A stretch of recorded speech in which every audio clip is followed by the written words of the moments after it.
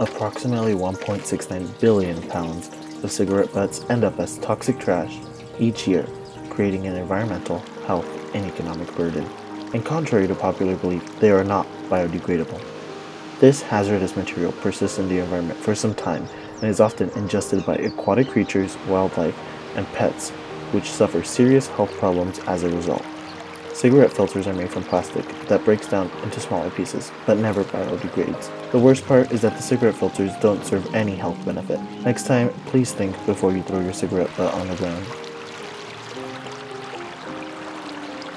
No butts. Pick it up. For more ways to prevent water pollution, please visit www.rrwatershed.org.